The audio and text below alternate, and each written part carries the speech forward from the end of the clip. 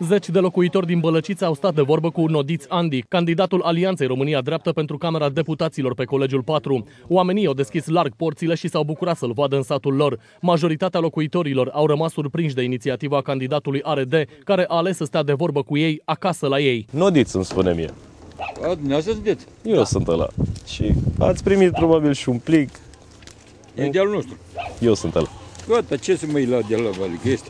A vrut să mă vede și așa la poartă, nu numai pe Da, v-am hârtie. văzut și în ăsta, și în pe plicul în ăsta, în interior. Foarte bine venit. Să cunoască oamenii, să uh, priceapă dorințele oamenilor, pentru că oamenii trebuie să-și pună pro- uh, punctul de vedere, că altfel ce facem?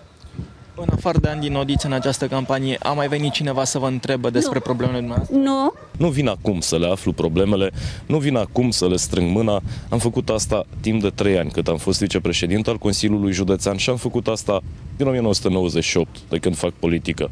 Asta suntem în Bălăcița, un loc unde am uh, ajutat și noi, atât cât s-a putut, cu refacerea drumului județean, care leagă și această comună de Craiova, cum leagă practic tot județul Mehedinți. Păcat că această investiție n-a mai putut continua, păcat că această investiție s-a oprit după ce am plecat de la Consiliul Județean și cum vedeți și dumneavoastră, nu este tot drumul făcut. Aici, în această comună, am introdus în uh, Planul Național de Dezvoltare a Infrastructurii și drumul care face legătura cu Oprișor, o altă arteră importantă de circulație. Și acest proiect, și acest plan național de dezvoltare a infrastructurii a căzut odată cu venirea guvernului Ponta. Le spunem oamenilor că este nevoie ca acest guvern să plece, ca să putem continua investițiile. Candidatul ARD pentru Camera Deputaților, Andi Nodiț, s-a oprit în fața fiecarei porți pentru a asculta păsul fiecărui localnic. Fie că a fost vorba despre o problemă pe care oamenii i-au semnalat-o, fie doar pentru a se prezenta, Nodiț a poposit la fiecare poartă din Bălăcița. Așa se face că majoritatea oamenilor au decis. Pe 9 decembrie mai bine investesc încredere într-un om de-al locului, un mehedințean, care îi cunoaște decât într-unul venit cine știe de unde. Ce cat ai la București? Păi dacă, dacă nu ne ajutăm noi, ai din apropiere, dar dacă ăla mai are milă de mine, ce zici dumneata? Dacă ăștia din împrejur să se gândească să aibă milă de noi de-ai bătrân, dar nu ăla de la capul api.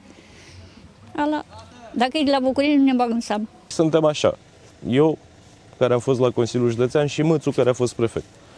În luptă cu ăștia doi. Doi juriști, a dus unul din București și unul din Iași. Dumneavoastră vă gândiți. Cum e bine, cu ăla să votați. Asta e bine. Că Mai bine cu ei nu știu de pe colț. Nodiți îmi spune. Da, da, vă cunosc.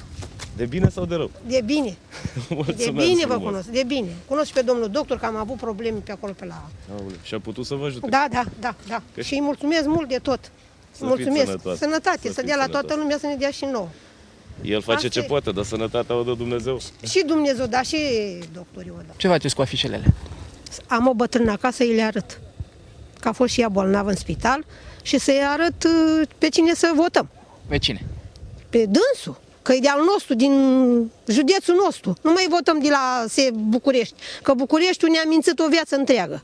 Și ne-am săturat de atâtea minciuni. Aș vrea ca oamenii să nu ne vadă numai la televizor sau numai în afișe. Foarte Ne important. vadă și în fața Foarte dânșilor la important. poartă, că ăștia Da. suntem. Eu sunt mehedințean. Am lucrat în Consiliul Județean. Nu-i prima dată când vin la oameni și nu-i prima dată, nu vin să le aflu problemele. Vin numai să le fac o singură promisiune. Promisiunea pe care o fac oamenilor este că am să mai vin la dumneavoastră la poartă și după ce voi fi ales parlamentar, nu din 4 în 4 ani, Vă privim. vă mulțumesc, nu cum fac alții din 4 în 4 ani când vin după voturi. Nodiț Andi a intrat în politică din anul 1998. Are experiență atât în administrație cât și în politică, fiind în prezent la cel de-al treilea mandat de consilier județean. Pe 9 decembrie el va fi găsit pe buletinul de vot la poziția 2, în dreptul semnului electoral reprezentând inima.